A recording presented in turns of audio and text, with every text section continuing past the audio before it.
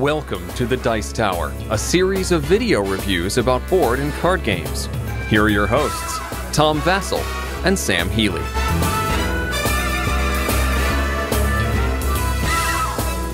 Today we're talking about Feudality, which you may not have heard of because it's a Z-Man game and half the time you don't hear about Z-Man games. But you may have heard of the designer Tom Wham, and Tom Wham designed Kings and Things, and you can see the distinctive artwork on the box. Wow! Even though, even though they try to make it look like Ora et Labora, you know, like Wow, they really did. Look at that. it's, it looks like this is the next in the series of high quality, high class, deeply strategic games.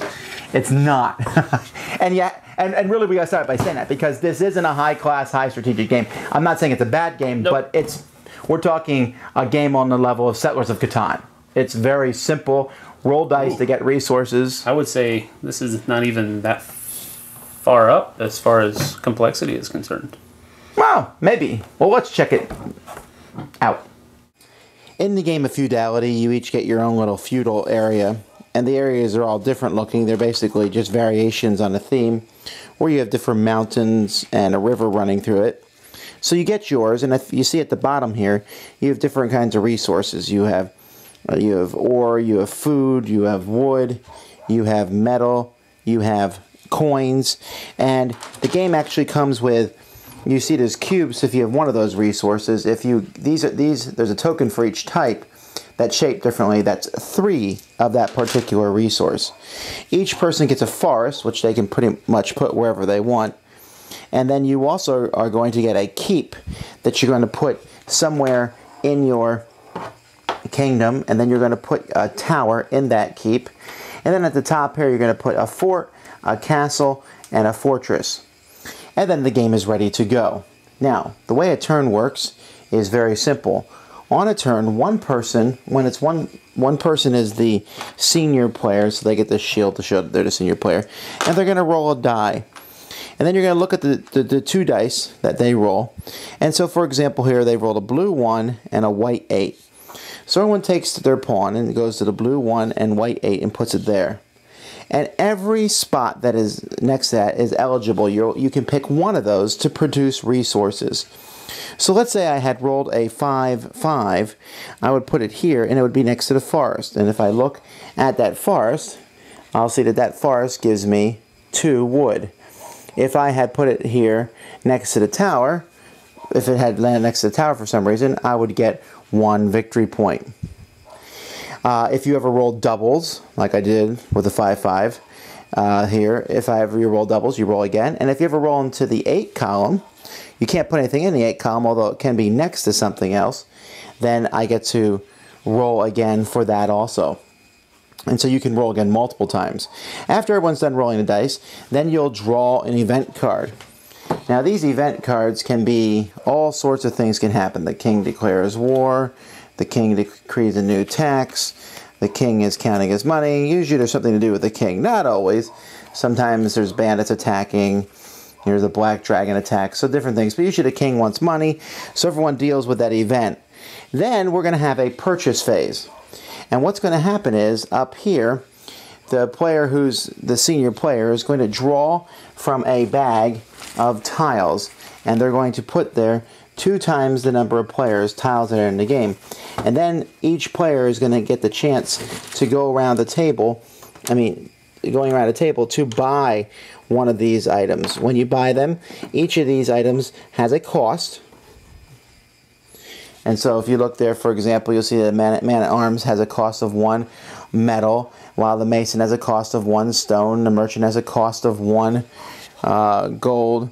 Right here, you can see the Kirk here has a cost of two ore and one wood. So after each person buys it, you'll then take what you bought and you will put it somewhere in your kingdom. Now, sometimes they have a very specific spot on where they have to go, but other than that, it doesn't really matter. Now, some people, anyone who produces food, this farmer here, you can see that he produces one food, but there's a little blue plus one. That means if you put that man on a river, he'll produce an extra food. After that happens, then the person whose turn it is takes two baronal actions. What that means is they can pick any two areas on their board and they can produce with those. They also uh, can take one of these special actions. They can try to have a secret liaison with the, the king or queen. They just basically roll dice, see if they get a victory point or not. They can try to sabotage someone else's kingdom. Again, rolling dice. They can attack. They can attack a specific person, or they can attack uh, they can attack uh, specified kingdoms and they can get points that way. Points are kept up here, by the way. And one of the main ways to get points is to upgrade your tower to a fort, then a castle, then a fortress. And you can see the fortress has four points on it, so anytime you, the dice are rolled next to that. But there's plenty of people. I'm just going to show you an example here of several of the different tiles that are involved in a game. You can see there that a wizard gives you a point, a cleric gives you a point, and can also heal people. The, the cooper gives you a point, the smith gives you a point. The trader lets you trade three for one goods. The alchemist gives you four gold. The so you, the, there's different things, and there's also different warriors. These will add to your rolls when you attack, and warriors all have to be placed into your castle when you get them. There's spots for the different warriors that you have. And then it goes to the next person, and we continue on until someone gets a certain amount of points that they need to win. As time goes by, you're going to have more and more places here. So as you roll the dice, you're going to have more and more choices of where to pick. Some of these tiles have restrictions on where they're placed, but once they're placed on the board, then they're going to produce as long as you roll dice that are kind of next to them. Obviously, it means if you're put in the one columns, that's probably the worst place to be because if, like for example, if you're in a 1-3, there is no zero that's going to be rolled that's next to it. But there's different, like I said, it's all about probability, where to place people, and uh, eventually someone's going to win by having the most points. Initially, there's a lot of good things like about this game. I love the artwork. I love the components. I like how the different resources, the three piece of each resource was a different shape. That gives some texture to yeah. collecting coins, collecting money. Mm-hmm. The uh, I the thing about the game that I enjoyed the most was the rolling for resources. I like that concept of having that 8x8 grid rolling and then getting a resource for if it's something touching the spot that's rolled. That's a neat concept, and I wonder if a more serious game could be put on top of that. Hmm. Because that is the most strategy in the game, I think, is putting that out there. Can you really say strategy though? Since well, tactics, on, I guess, based on luck. But what I'm saying is, there's nothing else beyond that. The cards that you draw during the course of the game are going to wildly swing things.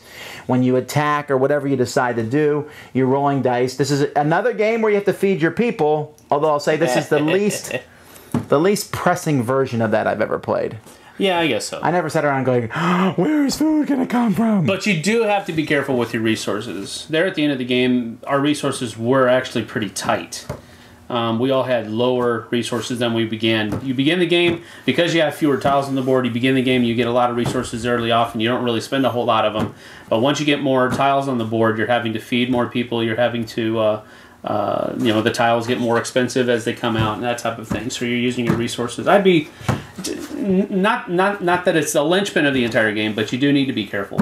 I'll tell you this though, I'm not sure that the different resources differentiated themselves enough for me. No, they didn't.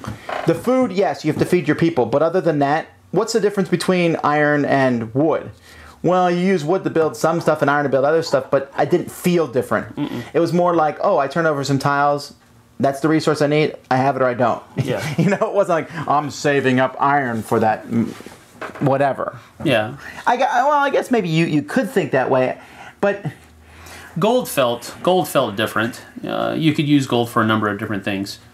Um, well, at least I could with the trader with the yeah. trader with the trader tile because I there's a trader tile that lets you trade in three of any one resource for one any one of another. So um, I was using my gold production to do that, so that made it feel better for me, I guess. Um, he mentioned the sorry, I didn't mean to cut you off. He mentioned the cards earlier, and and uh, that's one of the things that I actually liked. I thought it brought the concept of the game, the theme of the game, together a little bit more because it's you're living in feudal times and stuff like that, and there are cards that say, well, the king is going off to fight, so you have to send your army away, and I, I just thought that was kind of cool uh, that they worked in the whole idea of feudalism into a game called Feudality and see, see how that works. But uh, anyway, they should have called it Vassals. Uh, S S A L. Yeah, yeah, that that's what I meant. No, no, no, no. Well, here's the deal though.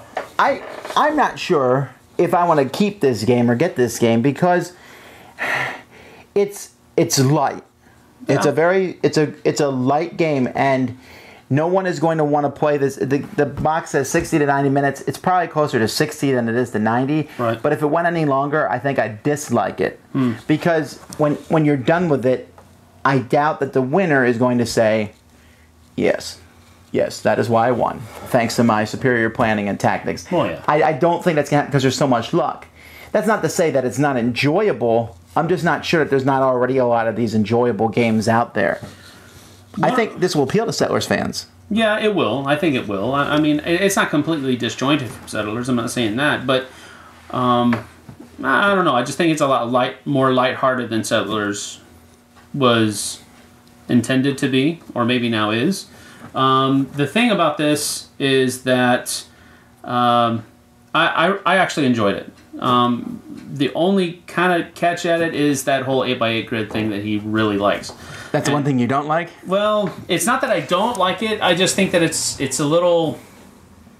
I don't know. It, it, it's it's too random. Unless you're a person like you that can look at an eight x eight grid and see the probabilities Well, right off the bat, you're kind of it, it's like a shot in the dark with every time. you- Every, every well, time that's true, it. and you don't know what someone's going to roll either. Exactly. I can't say, oh, the seven row, that's going to be rolled a lot because I, if if it was a card deck and certain cards came up, maybe you could say, okay, Right. I haven't seen too many seven cards come up, so I'm going to put stuff in that row. Mm-hmm. But I mean, so I mean, he by the end of the game, he was all like, you know, there are seven combinations that don't get me something. And I was like, really? You actually figured that out? So, whatever. It's. I I enjoy playing the game. It's not a mechanic that I'm going to say, please make more games like this, but um, I enjoyed it for what it was. I thought it was somewhat unique too. Yeah. I, I think it's going to appeal to folks who like lighter games like Settlers of Catan. If you like that idea of getting resources, there's not as much interaction of trading, but you can attack each other too. Yeah. And some people might not not like that, but you can not attack other players. Right. You don't have to. Which is what we should have done. We should have attacked Tom, really Wow. But well, that's kind of a rule didn't. for all your games, right? yes.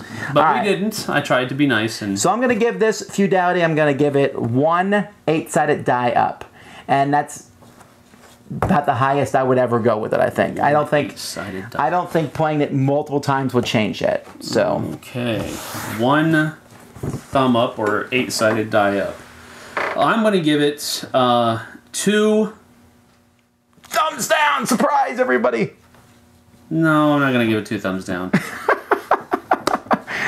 Well, you already said two. I'm going to give it one and a half grubby pinkies up. And the reason I do that is because it's feudal time, so your hands are going to be dirty. And I don't want to exert the effort to bring my big meaty thumbs up, so I'm just going to put my pinkies up there and say it's it's okay for what it is. Woohoo! Stunning endorsement. I would I would normally play it if other people want to play it, but That's true. I don't. This- I'm not going to ask for it. this meets my description of will play if asked, but probably wouldn't suggest on his own. Right. Thanks so much for watching the Dice Tower videos. Find more great videos and reviews, as well as our top rated audio podcast at Dicetower.com. You can also find the latest board game news at Dicetowernews.com. I'm Eric Summerer, and you've been watching The Dice Tower. The Dice Tower is sponsored by Fun Again Games, the world's best game source. Fun Again Games has over 5,000 games available. Check them out at funagain.com.